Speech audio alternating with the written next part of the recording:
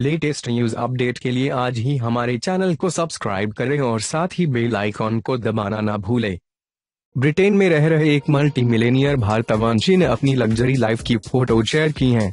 वो सेलिब्रिटीज के साथ हैंग आउट प्राइवेट प्लेन से दुनिया की सैर और सबसे बेहतरीन शैंपेन से घड़ी धोने के शौकीन हैं।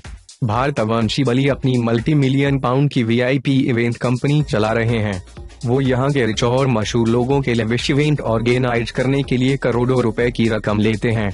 बयालीस साल के बली सिंह ने द रिच लिस्ट ग्रुप बना रखा है। उनका दावा है कि वो वीकेंड पर म्यूजिशियन स्टिंग के घर जाते हैं और क्रिसमस वेगास में रैपर नेली के साथ रहते हैं।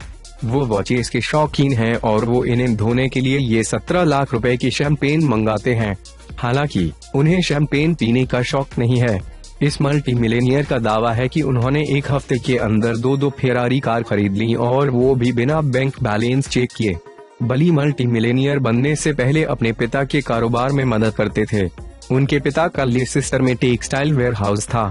बिज़नेस की दुनिया में अपना नाम कमाने के लिए 16 साल की उम्र में बली ने अपना खुद का क्लब नाइट बनाया और तरह तरह के इवेंट ऑर्गेनाइज कर सेलिब्रिटीज को होस्ट करते हैं।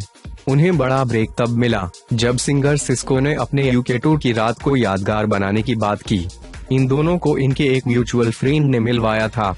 इसके बाद डीएमएक्स और ब्लैक आइड पीस जैसे ग्रुप बली को खुद अप्रोच करने लगे और उसे अपने इवेंट को रिच बनाने लिए कहने लगे। बली ने इसके बाद 2009 में द रिच लिस्ट लॉन्च किया। इसमें वो एलिट क्लास के लिए पार्टीज़ ऑर्गेनाइज करते हैं। उनके रिचलिस्ट ग्रुप ने 2012 में पहला Abu Dhabi race weekend event भी शुरू किया और इस साल यहाँ क्रैक डेविस बस्ता राइम्स और रिक रॉस की परफॉर्मेंस भी कराने वाले हैं। बली अब साढ़े आठ करोड़ रुपए के खर्च में एक एवरेज इवेंट ऑर्गेनाइज करते हैं। वहीं, महँगे इवेंट्स दुबई के प्राइवेट आइलैंड पर 170 करोड़ रुपए के खर्च में होते हैं। वो अपनी गर्ल फ्रेंड और मॉडल लेना सेंटोस मार्टस के साथ ही रहते हैं और दोनों मिलकर दुनिया भर में ऐसे इवेंट ऑर्गेनाइज करते हैं।